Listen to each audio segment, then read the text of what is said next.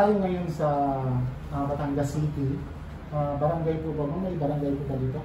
20. Barangay 20. Barangay Barangay 20 de las Alas Avenue. Ah, barangay 20 de las Alas Avenue, Batangas City. Nandito po kami sa headquarters ni BBM. At kami po, ang ah, galing din kami sa headquarters ng Pasay.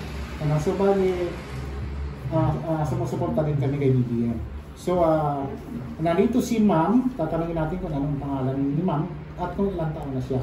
Ma'am, go po. Hello ho, ako po si Baby Dal Berberabe Clemente, 33 years old po, at ako po ay nag-iisang kandidato po ng PFP dito sa Batangas City. Okay. Salamat ho.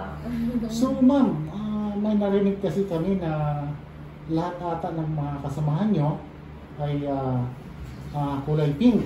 Bakit po kayo kulay red? Ako, unang-una ho po kasi talagang solid BBM po ako ever since. Dahil unang-una ho, hindi po naninira si BBM ng kapwa niya para may angat ang kanyang sarili. Sa, halap, sa halip ay hinikayat ang lahat ng magkaisa para sama-sama makabangon sa presis na nararanasan ng buong mundo. Doon pa lamang ay mas lalo ko pa siya nirespeto.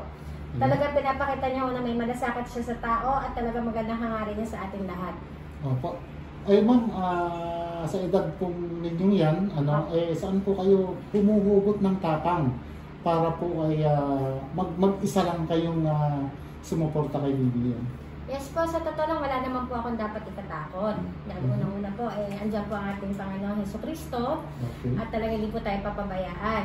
Mhm. Wala naman po akong ginagawang masama. At Mhm. talagang gusto ko lang po ay makatulong at ibangon ang ating, ang ating mga kababayan at ang Batangas City ho. Yun lang Oh. naman ho. Wala Oh, dapat sige. ikatakot. Ah, okay ma'am, ah, ganito pa po, ano, mayroon pa po kami na katanungan. Yes po. Eh ma'am, ano po masasabi ninyo dito? Nabanggit niyo po kanina, yung ah, na kung bakit kayo na kay BBM, ano?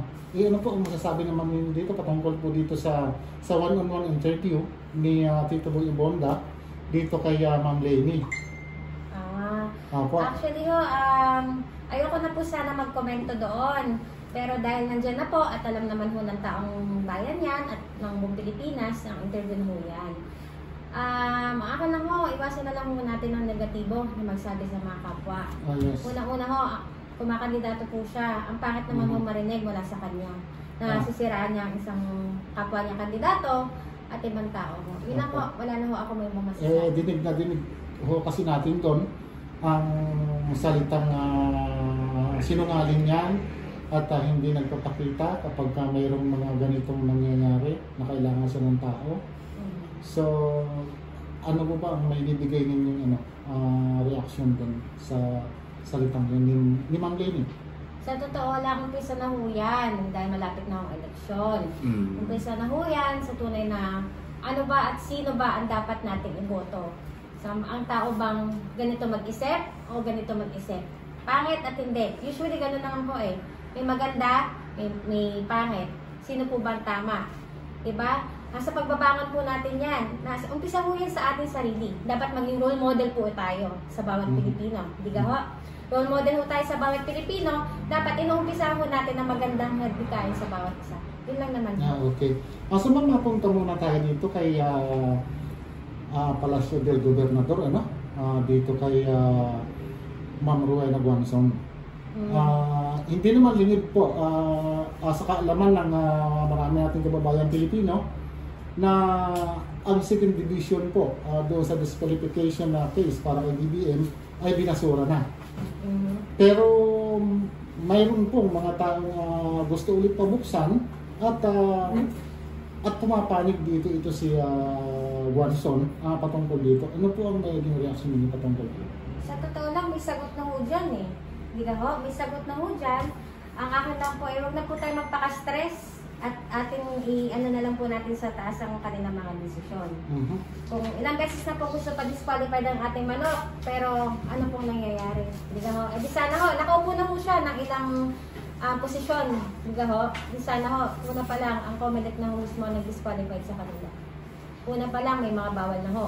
Talaga may rules and regulation pa ang Comelec, eh di sana noon pa po ay na-disqualify disqualify na siya. Bakit ngayon matatakbo siyang presidente, kailangan pagdilinan ho yun. Mhm, mhm. So, dapat huwag na po tayo magpaka-stress. Tayo, isipin na lang po natin kung paano tayo mag-uumpisa at babangon. Yun lang naman ho. Mhm. Ah, so, ma'am, ano po masasabi ninyo dito ah, kay uh, Ma'am Guanson? May pagkabayas ba siya? Or ah, lumalaban ba siya ng patas? Ano po ba ang sa inyong palagay? Sa tingin ko, eh, wala ho akong comment diyan. Ang akin lang ho, eh, an, isipin niya na lang ho, common sense na lang. Kung Mhm. Ano po ba dapat eh, decision niya. Kasi sa totoo lang, lumalabas ho na magulo na ho siya. eh. Mhm. Yun lang ho. Ah, kung kayo po ma'am ang tatanungin, eh, ah, kayo ba ay ah, panid doon sa mga taong nagsasabi na si BBM ay ah, magnanakaw o kung ano man yan? Ano ba ang masasabi niyo sa mga taong yan? sa totoo lang, wala na humahanap ng butas eh. Unang-una ho, hindi naman po sa pag-ano. Matagal na mayaman ang mga Marcos. Yes. Diba ho? Parang Opo. hinold lang po nila, nandiyan naman ho ang mga proyekto eh. Ginagawa naman ho nila eh. Binibigay naman ho sa taong bayan na dapat. Nakikinabang din ho tayo sa mga achievements at mga proyekto na nagaganap. Kung sasabihin nyo magnanakaw ang isang tao, bakit, eh di sana ho, wala na ho ang mga proyekto yung mga yan.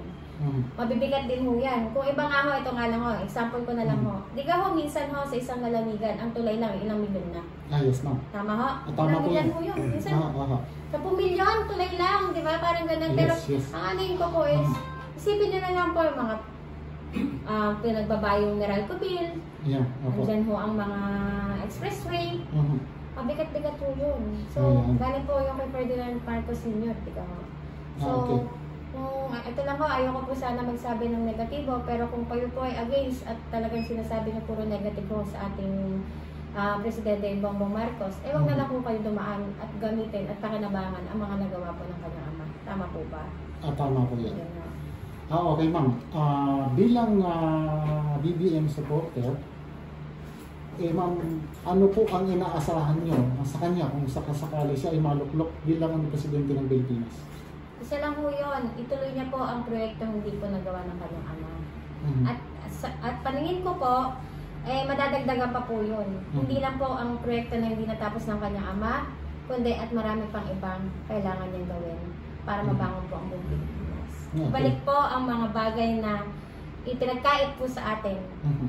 Saka matanggal po ang mga kurap po na kandidato sa iba-ibang lugar. Mhm. Yun lang naman ho. Okay. Ah, kung sakali po kayo ay mabigyan ng pagkakataon na, ah, na makausap ah, ah, face to face, one on one ah, si BBM, ano po ang unang-una ninyong itatanong at mga susunod pang tanong? Wala naman ako sasabihin kundi sa kanya kundi God bless po at maraming salamat po na kayo po ay lumaban. Sa Okay. totoo lang po, syempre, ang aanin ko lang sa kanya ay mapag-usapan kung ano po ba ang una niyo gagawin dito. Kung ano man po sagot niya, ayun ay nire-respeto ko at sobrang grateful po ako. Ayun. naman po. So ma'am, ah, mga pwede po kayong manawagan doon pa sa mga taong ah, sana magising na sila, no? At Mhm. ah, mapunta na sila, mapunta na tayo doon sa uh, sa sa, mga mga kabataan na po. Kaysa sa mga kabataan ngayon. Apa. Hello po sa inyong lahat, sa mga kaedad ko, sa mga senior, sa mga ating kabataan at po sa lahat ng tao. Mhm. Ito lang po ang masasabi ko. Huwag po kayo lagi mag-iisip ng negatibo, lalo na sa kapwa nyo. Lagi niyo pong iisipin. Labanan niyo po kung ano po nasa puso nyo. Kung ano po ang inyong naiisip at magandang hangarin sa bawat isa, gawin niyo ho. Huwag po kayo matakot. Unang-una, kung may pumipigil ho, Huwag ko, kasi wala naman po kayong ginagawang masama. Lagi po kayo tutulong, lagi po kayo maging mabait, lagi po kayo magsama-sama para po bumangon ng lahat. Mag-start po kayo sa sarili nyo. Yun lang po. Sa sarili lang nyo, ang tanging babangon hanggat magpasa-pasa po yan. Kung baga fast forward po para po maging ayos po lahat, ang maging um, maayos po ang ating um, buhay, ating gabay sa araw-araw. At tulong-tulong lang po tayo. Wala pong negatibo po sana, yun lang po. Opo. Ah, so maraming maraming salamat